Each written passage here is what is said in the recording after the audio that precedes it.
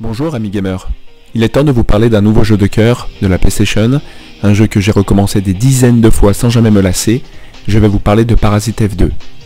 Suite de Parasite F premier du nom, qui n'a malheureusement jamais vu le jour chez nous, à l'époque, nous retrouvons notre belle blonde, agent du FBI, Aya Brea. Aya est une membre du bureau MIST, spécialisée dans la mitochondrie, une section discrète du bureau fédéral chargée d'enquête et de missions très spéciales. L'histoire se passe trois ans après l'incident qui confrontera notre agent du FBI à d'horribles mutants, sujets à des transformations cellulaires, lui conférant au passage d'étranges pouvoirs. Tout semble recommencer dans la tour d'Acropolis, à Los Angeles, là où débute notre nouvelle aventure.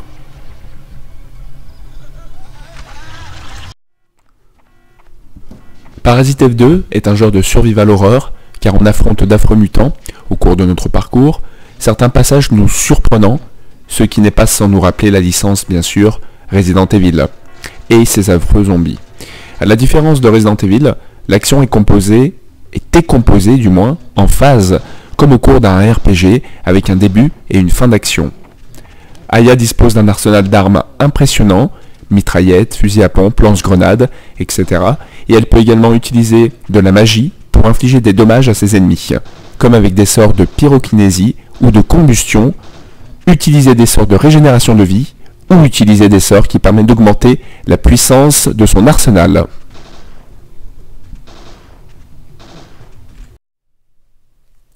Le gameplay est facile à prendre en main, mais souffre parfois de lenteur dans les mouvements. La gestion du menu de son équipement est bien pensée. Aya pour apporter des gilets de protection, utiliser en plein combat certains items choisis au préalable, comme des médicaments pour se soigner, des antidotes, des armes, ou de l'eau pour remonter sa mana. Une gestion qui nous rappelle un système de RPG à l'ancienne, et surtout un RPG à la japonaise. Les graphismes étaient somptueux à l'époque et on traverse de nombreux endroits diversifiés. Certains combos sont mythiques et certains adversaires restent coriaces à tuer.